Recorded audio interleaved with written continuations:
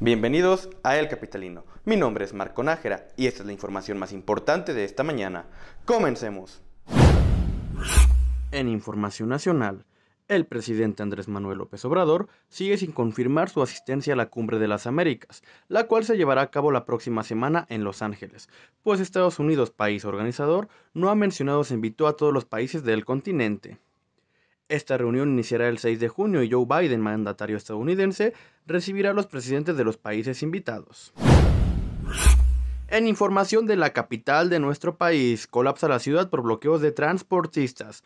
Como se tenía previsto, los bloqueos de transportistas en al menos ocho puntos de la ciudad han paralizado las principales vialidades de la urbe.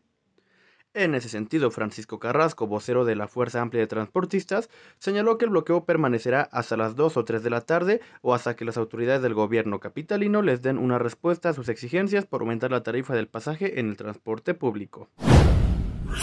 Pasando a información del mundo de los deportes, la selección de fútbol brasileña dio una gran exhibición y con un doblete de Neymar apabulló 5 por 1 a Corea del Sur en un partido amistoso y de preparación para ambos equipos clasificados a la Copa del Mundo de Qatar 2022. Fue un concierto ofensivo del conjunto de Tite y el marcador no fue más escandaloso debido a los postes y a la gran actuación que tuvo el guardameta coreano Kim Seon-yu.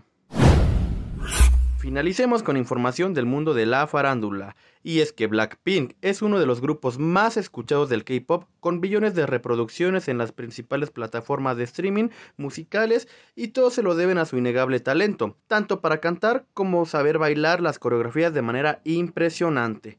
Ahora Rose, una de las integrantes de la agrupación, se refirió a Dua Lipa, quien junto a Blackpink interpretó el tema Kiss and Make Up como parte de una sorpresa para su público en uno de sus conciertos, pero cuando Rose comenzó a disfrutar del espectáculo de la estadounidense, se dio cuenta de su enorme talento y quedó impactada, así lo declaró la coreana.